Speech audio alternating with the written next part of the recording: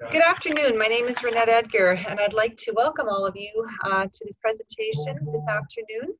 Uh, we're very excited to have um, Sergeant uh, Colin Haggai, hope I pronounced that correctly, uh, with us uh, for this Lunch and Learn today.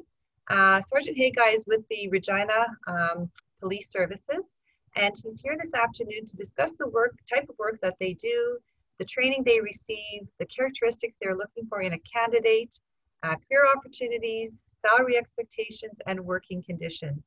Um, a reminder to students that are going to be watching this um, uh, video at a later date, uh, of course you can find it on our YouTube channel, uh, but on our website you will find a student survey uh, and we ask all students to complete the survey uh, when they watch this video. It helps us to plan future events, get a little bit of feedback from you, and to just um, kind of give us some information that we need to report on.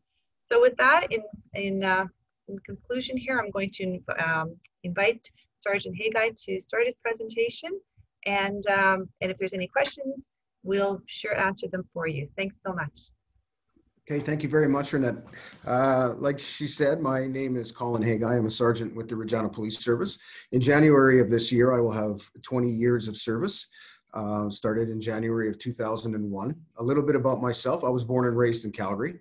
Uh, I grew up um, ski racing as a kid, playing baseball, playing football, kind of generating that uh, and getting a, a, real love for being involved in, in, in, in a team and, and acting in team dynamics. But uh, in 1998, uh, well, I, I, I, went to high school in Calgary and then I went to Mount Royal College in Calgary for two years and got a diploma in criminology. Uh, back then it was just a college, now it's now become a university. Um, but because it wasn't a university at the time, I wanted to continue my education. I was still pretty young and wasn't really prepared to hit the workforce quite yet. But uh, I worked some part-time jobs uh, while I went to school. I worked in the service industry. I worked in uh, security. I worked in loss prevention, uh, and I did all sorts of other uh, volunteer experiences with um, the Special Olympics, for example, and a whole bunch of other agencies in and around uh, Calgary and also in Regina. When I moved to Regina in 1998, I uh, enrolled at the University of Regina and I uh, subsequently got a degree in both human justice and a Bachelor of Arts in Political Science. And I applied in uh, the summer of 2000 and I was lucky enough to be hired uh, with the Regina Police Service in uh, January of 2001. Since I've been at the Regina Police Service, I was a patrol member for, for many years. I, the bulk of my experience and my um, time here at the Regina Police Service was in patrol. I enjoyed patrol work. I enjoyed the shift work, but I also did uh, three years as a, as a detective in robbery. And I've also worked in our community centers, which uh, was more of a proactive community-based policing unit for three years. And I went on to become a street uh, supervisor. And now in January of 2000, I was I took a job here in uh, in recruiting. Um, in addition to that, we have a lot of other things that we can do while, in addition to our regular duties. I was on the Special Weapons and Tactics team for 16 and a half years. And while I was there, I was a, um, a member of the rappel team. I went on to become a team leader of the rappel team. Um, and, uh, and ended up becoming an alternate team leader in, in what we call the command group of uh, special weapons and tactics. So uh, I've also been, I'm also a firearms instructor and I also work with our critical incident stress management team, which looks at uh, trying to minimize the long-term effects of um, trauma and stress in, in our police officers and our uh, civilian staff. And basically what that CISM program does is just try to um, mitigate those effects by we have what's called debriefings at the end of traumatic calls where um, science has shown that if done properly that the um, those debriefings really help people to express their emotions and what they're feeling and, and it really helps in uh, the long-term stress. So i um, yeah, that's about my career. I've, I've, been doing it for 20 years. Um, and what a lot of people say, and Chief Evan Bray says it very well, is that there is no better job in the world, but this, uh, this job isn't for everybody. So I hope to answer uh, as many questions as you have, but of course you can um, at any time send me an email or uh, through the uh, RPS website, recruiting website And uh, I hope today just to go over the basic requirements. Uh, what, what can you expect when you're in the recruiting process? What happens when you get hired? And then what happens when you're done your education and your training? Uh, so hopefully my PowerPoint is working properly here, but we'll move it on. Uh, so there's actually two kind of, of uh, ways, or there's two methods um, in looking at how you qualify to be a police officer. Uh, at the Regina Police Service, we have two tracks uh, really of um, how you can be employed by the Regina Police Service. Currently, there's about 405 sworn police officers. Those are people that take an oath uh, and are governed by uh, the Saskatchewan Police Act. But we also have a civilian contingent of about 200 people that do everything um, that kind of work behind the scenes and, and support us and make our job easier. So we'll go over that in time. But to become, I'm going to focus more on the sworn side, the the how to become a police officer. So there, uh, we are governed by the, um, the Saskatchewan Police Act, and in that act, it covers uh, some basic requirements. That being uh, 18 years old, uh, having a grade 12 um, diploma or equivalent GED. Um, prior to applying, you have to have your standard first aid and level C CPR, which you can get from a whole bunch of different agencies in, in town and throughout the province. Uh, you must have a valid class five driver's license and you must have uh, a visual acuity that um, we accept, and that's 2040 uh, vision in both eyes or 2100 and 2060 in one eye. And you must be able to pass the written, physical, and medical examinations. Now that's from the province, but in addition to that, the Regina Police Service asks that you be 19 years old. You must be 19 years old to apply in Regina, and that's simply because of uh, Saskatchewan liquor and gaming um, rules, and that you have to be 19 to enter into a licensed establishment or a casino must have no criminal record but if you do have a criminal record uh, you can apply for a pardon and uh, depending on the particular offense in which you're convicted of it would really depend on how long ago you committed that offense and what your behavior and what uh, you've learned from that as time has gone on uh, we also ask that there's no criminal involvement in the previous three years, and that's detected or undetected. And we will get to that with a polygraph test. That is how we determine whether um, somebody has been um, crime free uh, for the previous three years. And a polygraph test is what often what you see on television. It's a lie detector test, and uh, we have some very highly trained people that are able to analyze your uh, breathing and, and everything like that to determine whether or not you're trying to hide something from us. So some of the recommendations that we make prior to, to applying with us is uh, we have a Citizens Police Academy, which is about a 12 week program uh, you go every Wednesday night from seven until nine ish or so, where you get uh, learn all about all the different sections uh, with the Regina Police Service. We also look at how connected you are with your community. It's really important that um, you know when when I when we interview people, we we listen to um, them talk about wanting to be a police officer to make their community a better place. Well, I think it's really really important that you understand what your community is, the dynamics of it, and the challenges uh, before even applying with us so that you can come and uh, when you're speaking to us and you're applying with us that you know uh, what's going on around you. And of course uh, when you're applying being uh, physically fit is extremely important. We want our, our police officers to be able to uh, live a healthy lifestyle and to ensure that um, when the time comes that you need to protect yourself or somebody else that you the chances of being injured are a lot less so we have a list of desired competencies, uh, things that you should be able to see in yourself uh, prior to applying. Uh, things like adaptability and commitment to learn. As a police officer, you're always learning. The law is changing, technology is changing, the community is changing. Regina is a very growing community, and uh, we want to ensure that eh, the best way to protect and, and, and serve our community is to understand it and learn of what's going on in your community. Communication, um, the, the vast majority of police interactions are concluded and resolved just with communication. And it's very, very important that coming into this profession that you have the ability to be confident in yourself, be confident in your abilities, and be able to speak to people professionally and uh, ensure that those interactions uh, are concluded safely. And the bulk, the vast majority of um, the interactions we have are done through that. Oh, I'm going to go back. Sorry. Uh, cross-cultural sensitivity, of course, is very, very important with the uh, amount of uh, immigration and um, how Regina is growing. Um, according to the last mayor, Michael Fougere, can, Regina has one of the largest growing uh, new Canadian populations per capita across the country.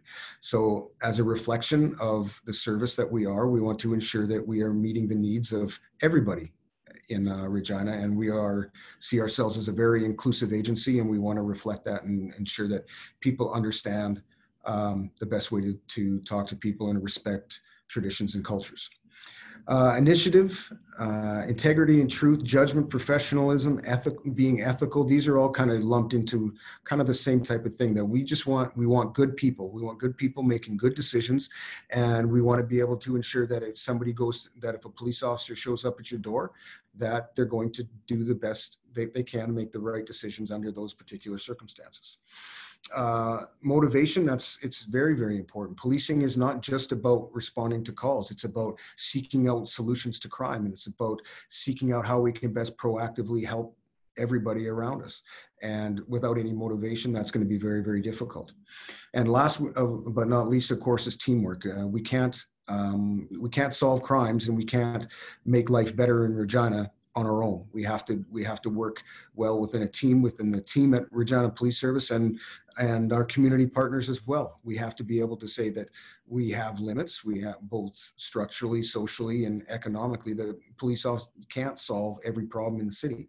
So it's really, really important that we're able to rely on one another, rely on other partners in the community, and whether it's uh, social services or health or um, you know our partners at the jail or and um, the deputy sheriff's office, the courthouse, our prosecutors, that we all work well together as a team so that we are one functioning unit.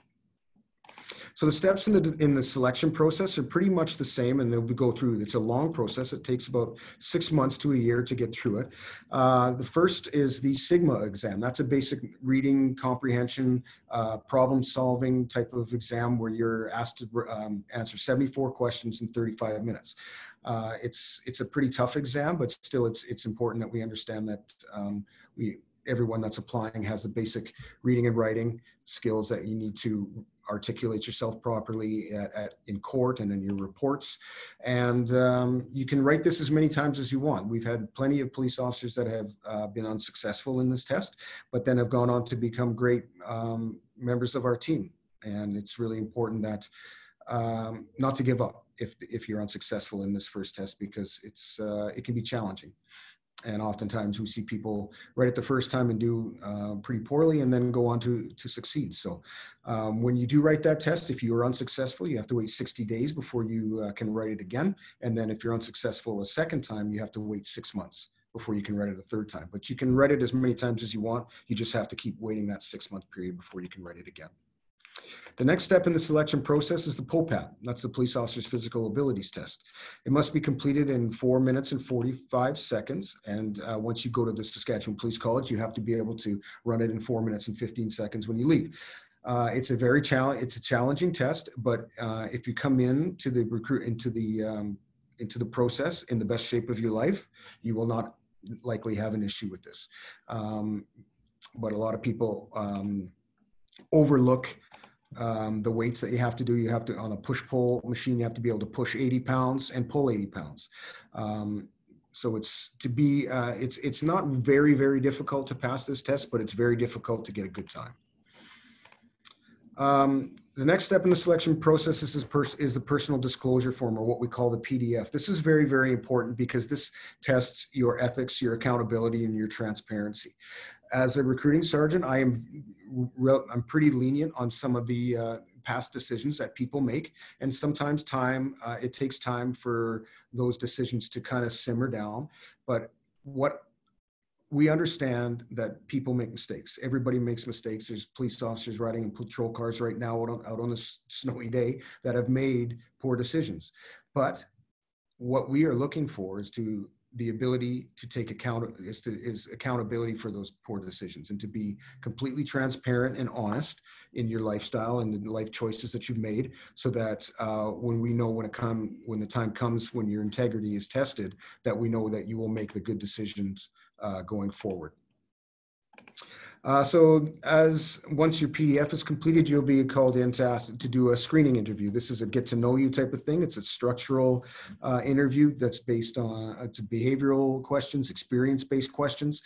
Uh, if you're successful in, in, in getting through that interview, uh, you move on to the MMPI. That's the Minnesota Multiphasic Personality Inventory, which basically looks at kind of it's a 500 and some question uh, um, uh, questions exam. It's not an exam. It's more or less just a uh, a way to examine the way that you think and the way that you behave, and then determine whether the, your traits would be uh, similar to the thousands of other police officers who've taken the same test. Uh, after that, you'll be um, subjected to our polygraph exam. It can be anywhere from two to four hours long, where uh, they really go over that personal disclosure form to ensure that you're telling the truth about some of your previous decisions and uh, your integrity. And um, it's a very valid test. Then you'll go into your background investigation where we talk to all your neighbors, your friends, your references, your old employers, your family, uh, and even yourself or your spouse if you're married at the time, those types of things, and even your children if you're married or if you have children at the time. And then from there, you go to the selection board, and the selection board is chaired by either our, our chief of police or the deputy chief, and you're uh, asked a series of questions, behavioral based questions and experience based questions. And then from there, uh, you determine whether you'll be hired or not. Uh, after that, you'll be issued an offer of employment. Uh, it's conditioned on a medical exam, which is always kept confidential, and uh, just to determine uh, that you're not going to risk uh, yourself at, at, any length um, medically if you're hired. And then from there, you're on probation for one year. The salaries for the Regina Police Service are very, very competitive. We're one of the top three uh, paid um, police agencies in the country. And as you can see, a first class constable, which is five years, uh, you'll be making approximately $106,000 a year, which uh, when you think of it, and for most social services is, uh, is, is quite a bit higher for uh, teachers and, and, and uh, firefighters and and even some nurses along the way too. So if you're looking at service and, and working in the community and, and working in a service industry, policing offers very, very competitive uh, salaries. So in addition to the salaries, we have uh, medical and dental benefits, a healthcare spending account, which is supplemental to it. Uh, you get about an extra thousand dollars a year that you can spend on anything you pretty much want to. Um, uh, there's also maternity and paternity leave for when the time comes to uh, if you choose to have children or uh, if you um, choose to spend more time with an adopted child or something of that matter. We have our own gym. We have uh, two different gyms and a wellness coordinator who uh, will develop fitness plans for you and develop workouts for you. There's also fitness classes at lunchtime and yoga. And um, we also have educational incentive programs where the, the service will pay for courses for you to take. Um, when I was hired, I didn't, I was three, I was nine credits short of, of actually finishing my Bachelor of Arts in political science. And I went on and uh, I completed that degree while I was working here. And I also went on and took master's classes as well, which the, uh, the service paid for. We also have a very good life insurance pro, um, a very good life insurance program and um, package, which um, if if you were to unfortunately be injured or or even die in the line of duty, that uh, your family would be very well looked after.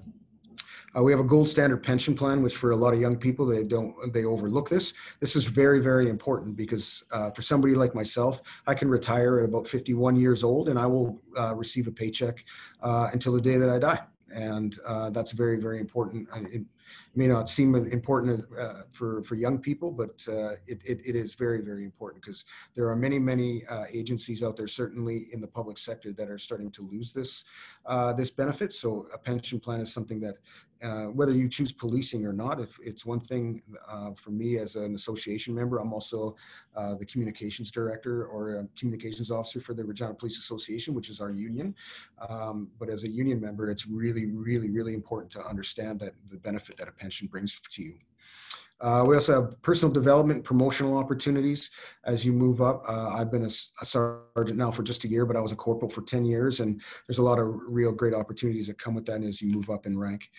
And then working in that team atmosphere, Regina Police Service is a. It's actually one of. Uh, it's actually kind of a large agency um, when you look at things. Certainly compared to a lot of American partners that we have, but um, with 400 members, it's it's great because it's big enough that you can do all sorts of cool things in your career, but yet it still uh, has that family feeling to it.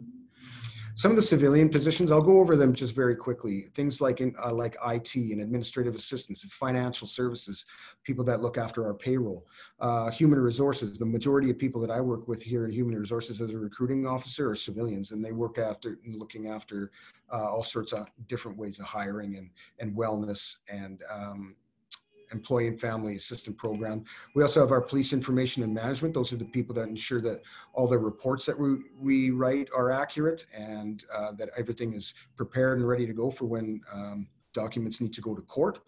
Uh, we also have uh, facilities, as you can see on the picture there. That's my uh, that's my bro Arjun. He's been working hard to become a police officer, but he's works part time as a casual while he was going to university, working in our uh, garage. So he changes the tires on our patrol cars. And uh, major accident scenes, he comes out and brings pylons and shuts down the streets for us. And and uh, again, um, just one more example. If you don't necessarily need to be a police officer to to help out and to be a member of the Regina Police Service.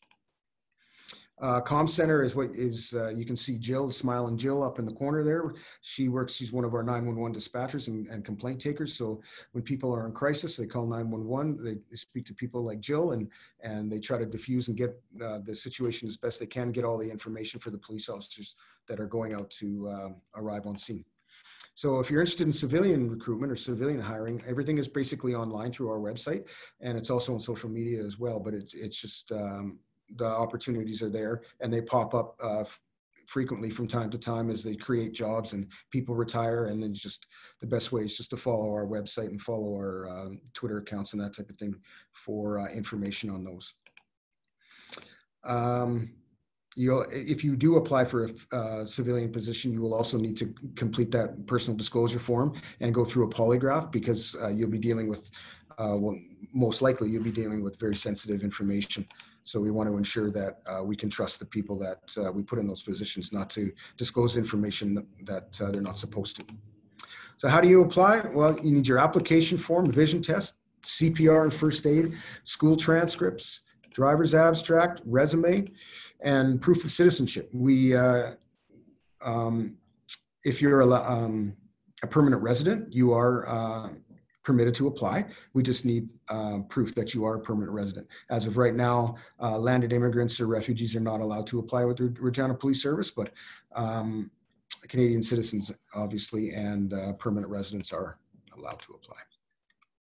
Uh, so in terms of physical fitness, we recommend that you, before even applying, that you be able to run five kilometers in under 30 minutes and that you can run in all sorts of weather. Whether when you go to police college, you'll be asked to run in minus 30 and plus 30 because as a police officer, you can't, uh, we can't, um, we can't pick the weather that we work in and emergencies and trauma happens every day regardless of, of the weather so it's really really important that we as a police officer that you're able to uh, work in all sorts of different conditions and be adaptable to those conditions and then obviously weight training uh, and there's very there's actually specific courses that you can take through the university of regina that'll help you prepare for that popat test um, and it's really and you can seek those out through the u of r uh, when it comes to the training, uh, every police officer, every municipal police officer in Saskatchewan goes to the Saskatchewan Police College. That's Regina, Saskatoon, Prince Albert, Moose Jaw, Weyburn, Estevan, and then some of the other ones like Corman Park and um, Luseland, small, small agencies that probably most people have never even heard of, do all their training at the Saskatchewan Police College. And it is a, uh, it's a part of Saskatchewan Justice that is centered out of the U of R, and it's at arm's length from all the police agencies, just to ensure that, that there's that independence and um, and that the training is not influenced by by any one agency over the other. Uh, it's a 20 week program. Um, it covers everything from defensive tactics. You can see that um, you can learn the joint manipulation and, and that type of thing, and, and get better. Uh, defend yourself in those situations. And then you're also receive all sorts of training in firearms and and driving and um, verbal judo and criminal law. Uh, human behavior, all sorts of different things to help you uh, be better trained. So, in once you are hired, your training is is about a year long because after that those 20 weeks in police college you're out with a field recruit training officer for six months and then once you're done there you're you're on your own but you're still closely monitored by your uh, sergeant your field sergeant your field corporal and also your uh, recruit training officer so just some other things now that this is over we'll go over uh, just some of the things the problems that i see in hiring. Um, where we lose a lot of people is in that well the first is the fitness and that people come into that popat thinking uh, i'll get in i'll scrape by and then i'll get in good shape when i go to police college. Well it's really really important for me um, when i'm evaluating recruits or i'm uh, evaluating um, candidates is to ensure that when they're coming into that um, application process that they're in the best shape of their life. If they can come in because that shows me dedication it shows me motivation and it shows that uh, this is uh, it's a goal it's a and it's a it's a it's a dream for someone to get this job and that they're doing everything they need to do or they want to do before they even uh, start the process. And being physically fit there's so many other things that go with it. it's nutrition and it's good sleep patterns and it's good organization skills and all the rest of those types of things that will make you become a better police officer but it'll also uh, make your job easier because when you don't have to worry about uh, other stresses like that uh, the trauma alone that, that police officers see that most people in emergency services see whether it's firefighters or paramedics or doctors or nurses that uh, those stresses can be worked off with good coping mechanisms and fitness is a very good way to do that Another uh, obstacle or roadblock that I often see uh, in the uh, recruiting process is that uh, personal disclosure form. If you are serious about becoming a police officer and you want to work with the with, with the Regina Police Service or, or the RCMP or Saskatoon or wherever it is you choose to go, that that decision is made in high school, and that decision uh, carries out from that day that you decide I want to I want to stick to this and I want to be a police officer and I want to help my community. So it's absolutely essential that the, those decisions that you start making as you are uh, a young person that it carries out in through your university career or your trades career, or, or if you decide to work before applying with us, is that um, the decisions uh, that you make don't hold you back. And whether it's impaired driving or excessive drug use or uh, theft or, or frauds or those types of things, um, like I said, I can look, I can overlook some bad decisions, but if it's a pattern of behavior, I can't overlook that. And because we need the most ethical and moral people working for us because we are in uh, a position of trust. So when making that decision to become a police officer, the ethics are the very, very important. Um, some other things. I, that's all I can really think of in terms of obstacles and roadblocks of um, in the hiring process. Um, I'll maybe turn it over to uh, some of the other folks in here to see if they have any questions. Is something that I might have missed. Hi, yes, we do have a question actually. There's a couple from uh, that we'd like. So the students that are watching this presentation are, are like you said, are in high school. Uh, so those good decisions need to be made, you know, already. Um, what is the reality of a 19 year old actually um, joining or becoming uh, part of your team?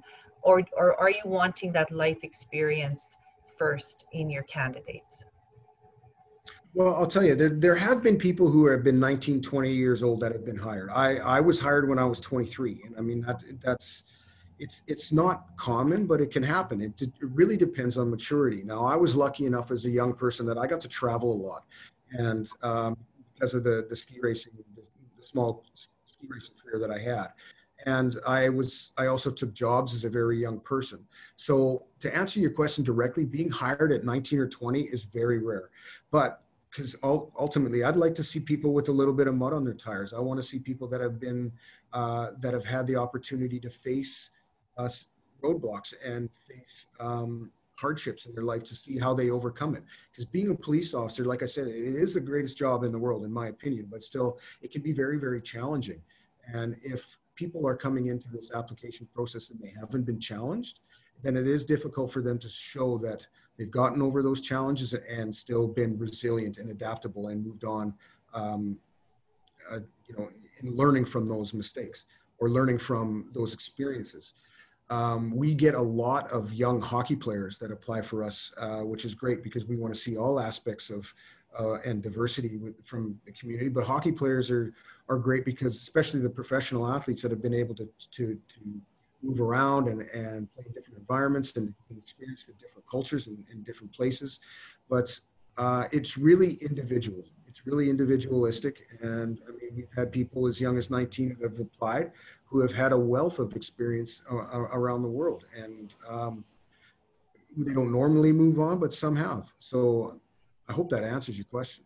Oh yeah, definitely. Th thank you very much. That's a very good response, and that's what I, I kind of assumed, um, because it is that life uh, experience is truly an important part of um, knowing for sure what you want to do, and and uh, and the seriousness of this particular career too. So, there's another uh, question from the office here. Most of the of the police officers that I know are are have been enrolled in university at the time when they uh, they joined the force and and, and got uh, accepted.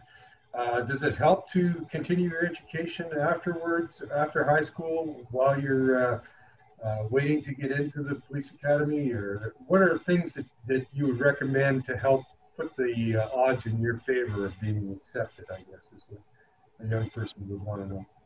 Yeah, you know what? We have had uh, people who have applied who have master's degrees in economics, and we've had people who have come in with a uh, with a GED um, and everything else in between. So if I value education, and so does the service, because education really shows uh, that commitment to learn, one of those competencies, those core competencies that have been identified by our service. Um, but it doesn't have to be at the university level. It, it, it can be at a trade school. Uh, we have lot, we have plenty of, of, police officers who worked in the trades for years, uh, got their Red Seal tickets at at Sask Poly or at State or and have decided that a career change is what they wanted. And in all honesty, it's a great benefit for us because not well for not only for us but also for the candidate and the fact that uh, we have 12-hour shift schedules in control, which means that you really only work about half the year because you work 12-hour shifts and you work long hours, but then you get long days off. We have plenty of people who go on to start second businesses in um, whether they just want to do some plumbing or be an elect- or electrician or um, even doing things like snow removal and and um, working in golf courses and doing all sorts of things. And so really it's it really comes down to the individual. And I was lucky enough that when I went to university back 20 years ago, university was a real big push for police officers. But now we really look at the individual. We really look at their life experience um, their maturity, um, not only their, their, their, financial maturity too, how they've been able to handle money and, and are, you know, are they careless with their life decisions? And so whether you come into this as a plumber or whether you come into this as a university grad, really it just comes to how you can sell yourself, how confident you are, and how mature you are for your age and your experience. Do you find your workforce um, to i guess how, how, do i put this like aging uh, that you're looking to to build uh, your your workforce with younger recruits um, what's is, the opportunity? Yeah what's the opportunity i guess right now?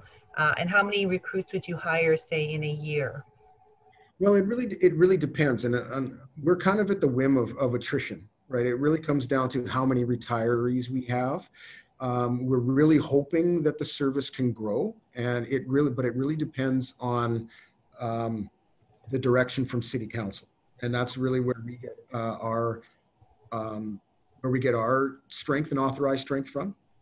So if we have a year where there's a lot of retirees, and over the next five years there will be some, there will be quite a few. So it's we're really hoping that we can get some numbers up in the next little while to increase our ratio of police officers to population. That's a question I can't answer, and unfortunately, that's kind of above my pay grade. That's that's where the chief and the deputy chief really try to negotiate with our city council, and we're lucky because we have a really great relationship with our city council. And um, and, and even with our community as well. So the community, I mean, according to the latest Angus Reid poll that was taken, Regina has some of the highest support from its population in the country, and it, it's a real credit to them to the men and women that serve on the in this not only the sworn but the the civilian side uh, of that relationship that we have with our community. So. Um, long story short, it really depends on what the mayor and, and the and the board of police commissioners want and, and, and what they see, and our executive really pushes hard for um, for more recruitment, and we're really hoping that this service grows. And as the city grows, then so should the the service, and we're really hoping that that we force some growth over the next, certainly the next uh, five years. How many police officers would you have right now, um, part of the Regina Police Services, approximately? is uh, about 405 just well give and take here and there but we're sit around that 400 that's the safest bet. Yeah. Yeah. Awesome. And then in addition to that, like we do have uh, like about 200 sworn civilian, uh, uh, 200 civilian employees as well. So the, the students that take the 20 week course at the U of R, uh, that's kind of that particular program could take them anywhere in the province, say in any of the city police uh, forces that are there? Not really. Really, um, what did when you first when you before going to the Saskatchewan Police College, you are hired by an agency. Oh, Whether- yeah. Whether it's whether it's Saskatoon or Regina, you get hired by them, by us, and then we endorse that that candidate to go to the Saskatchewan Police College. oh, I get it. Hon- Honestly, Ah, yeah, thank Okay, you. That's good to know. Yeah, that was good to know. I wasn't sure if it was like the RCMP type thing where you do your training and then you get uh, stationed somewhere, but yours is just kind of the opposite where you have to be almost kind of employed first or guaranteed a job. Yeah. And then you get, Of course, it's all conditional, right? Because if they, if, if a candidate uh, is unsuccessful at the police college or they, they reach a roadblock that they just can't get over, whether it maybe it's firearms or maybe it's their fitness or something like that, then they can, what, what can happen is, is they will be dismissed from the Saskatchewan Police College and then sent back to their respective agency. And then the agency determines whether they provide remedial help or whether that person will just be terminated. awesome. Yeah. What an awesome presentation. This was, uh, you, you know, I thought I had a lot of these, um, a lot of this knowledge, but there was some new things that I didn't even under or realize. So that's great. Yeah. In terms of the future with, with Regina, it's uh, um, Regina is, is a very challenging place to work. We, uh, we have such a wide, um, uh, diverse community that it's it's it can be challenging. And certainly now, I'm I'm sure you can see from the news that uh, things like methamphetamines and, and guns and stuff like that are really really changing the dynamic in Regina and it's making uh, it's making it a little more dangerous to be a police officer in Regina, but still at the same time, it's making it very it's very exciting because in, in a place like Regina, you'll learn more in five years than you would in a place like Calgary in ten. So, and it's such a, a, a, sm- a smaller, intimate agency that it really allows for a lot of training too. Like we really, uh, the, the police service really values training, and and uh, there's lots of opportunities to do training at the police college once you are hired, and that's the another uh, branch that the Saskatchewan Police College is responsible for. So once you are hired, there's plenty of other courses that you can start taking, like whether it be a, you want to be a firearms instructor, or if you want to become and work in the drug unit, that they'll provide some of those basic building blocks for you. And then if you get into the real specialized things, like uh, our forensic ident unit, for example, in the forensics, then you go to uh, what's called the Canadian the Canadian Police College in Ottawa or in uh, in BC, where you're given extensive, highly technical training. Um, like the ident course, for example, I believe is uh, three months long. So uh, in order for you, in order for you to work in forensics, uh, you need to uh, go to Ottawa for three months. Wow, awesome. Yeah, I think um, I think we're probably good. This was an awesome presentation. I'd, I'd just like to take this opportunity to thank you, Sergeant Colin, for this very informative presentation to help students in their quest to make better choices about their future employment opportunities. Um, we're also going to extend the invitation to any student that has any other questions. They can definitely contact us at RDIEC. We can definitely get them in contact with you um, as you said, through your um, through HR department at the Regina Police Force. And um, on that, I think we'll we'll uh, end this presentation. Thank you so much. And don't forget, follow all of my uh, social media stuff. We're on Facebook and Twitter and Instagram. So if you're, even if you just have the smallest little bit of interest and you want to see what's happening, follow all those, uh, whatever um, social media outlet you enjoy. And we're not on TikTok yet. I'm not much of a dancer, so um, we'll have to work on that. And, and but uh, thank you very much for having me. It's it's always a pleasure. This is the second year I've got to do this now, and uh, I hope I was able to help out. Awesome. Thank you so much. Thank you.